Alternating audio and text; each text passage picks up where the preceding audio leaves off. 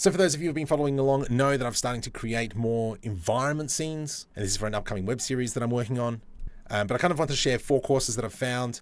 I've gone through three of the courses so far and going through the fourth one very soon. Um, but let's kind of go check them out. So this first course is real-time environment design in Blender using Eevee as the main renderer for creating really nice environments. Now, it is a comprehensive four-hour crash course, and it kind of like covers everything you need to know about creating real-time environments from scratch and it's primarily focused on scene configuration to create kind of these uh, very clean renders now now it's taught by Jama uh, he's a professional art director and concept artist in the film industry so this course is kind of perfect for both blender pros and beginners because it covers uh, megascans texture blending and um, advanced kind of like techniques for creating realistic environments you kind of go through desert landscape, sunset, night scenes. You do a bit of camera animation. There's quite a bit of volumetric fog in this one. You do get a texture node blender file set up as well. But I do want to mention that this course does rely quite a bit on megascans. But if you want to more focus on setting up scenes for Eevee, this, this might be the way to go for you.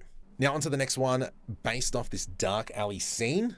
I picked this one up. So Shimei kind of goes through the whole process of creating this dark alley from start to finish. It's another four hour course that goes through the step by step process for creating the scene from scratch. So it's kind of like, it's really perfect for beginners. The course is divided into two parts. So first is all about learning how to make a building asset. And you kind of go through uh, preparing textures, modeling, fixing the UVs, improving materials, and it's kind of like that whole process of creating from scratch. So that's about an hour long. And then to actually create that dark alley scene takes about three hours. And you kind of cover about importing assets, um, blocking the scene, adding details to the ground like um, cables and neon signs, a lot of lighting, plenty of render passes. But then it goes on to kind of like enhance the render through composition, both in Blender and also in After Effects. Now, depending on what pack you get, you can get the pack with the 50 buildings that comes with it, or the 162 modular assets, um, that also comes with the neon signs. I think there's about 70 of them. There's about eight ground scans and then a whole bunch of trash. So just the assets alone, this one's pretty good.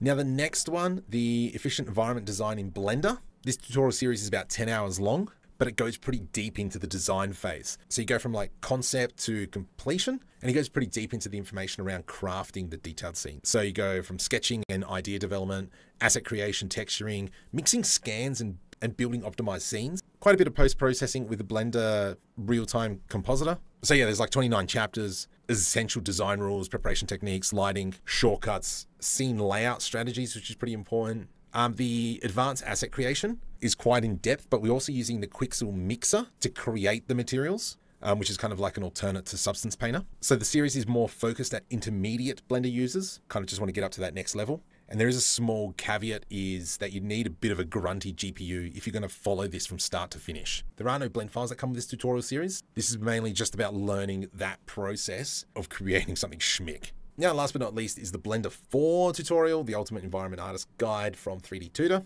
Now, it's a pretty comprehensive course where you go through kind of like 3D environmental creation. It more focuses on the Victorian era, where, you know, I'm going for something sci-fi cyberpunkish, but it's more that that um, power of storytelling through 3D modeling that just kind of makes those models come to life. You get to cover quite a bit. There is a progressive learning curve where you go from basic to professional techniques. Um, you talk about vertex painting, shading, texturing, and that's through kind of like creating the bookshop, the inn, and like this mysterious alleyway. but also you learn to use gray boxing and lighting, um, obviously modeling, but also using geometry nodes, which is something I'm very poor at. But at the end of the day, you come away with a pretty decent resource pack with geometry nodes and also textures. So that's kind of like my four tutorials that I'm going to be going through. Um, if you found this useful at all, please leave a comment below and I'll kind of like continue to research to find more tutorials that will um, help not only myself, but hopefully you guys as well.